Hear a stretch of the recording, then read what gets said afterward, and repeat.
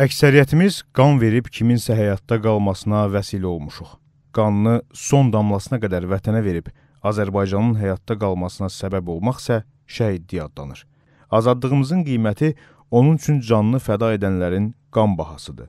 Biz hürriyyətin qiymətini və qədrini onların qəbr evindəki əbədiyyəti ilə ölçməliyik. Məzar-məzar qazandığımız hürriyyətin ziyarəti də, dastanı da İlham və Fərizədən başlayaraq İlqara, Larisaya kimi müqəddəsləşir.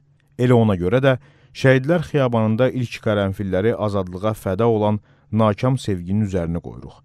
Beləcə, hər ilin 20 yanvar tarixi milyonlarla insanın azadlığını əbədi məşəlin istisinə toplayır. O gün 150 həmvətənimizin hər biri müstəqil Azərbaycanın bütövlüyü üçün canından keçmişdi. Çünki onlar bir neçə il sonra torpaqlarımızın işğal olunacağından xəbərsiz idi.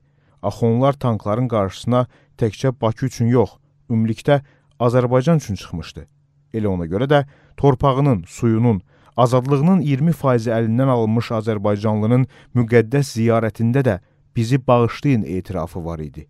2020-ci ilin 10 noyabr tarixinə kimi ərazi bütövlüyümüzü bərpa etdiyimiz zəfər günü bütöv Azərbaycan uğrunda canından keçmiş 20 yanvar şəhidlərinin də ruhunu şad etdi.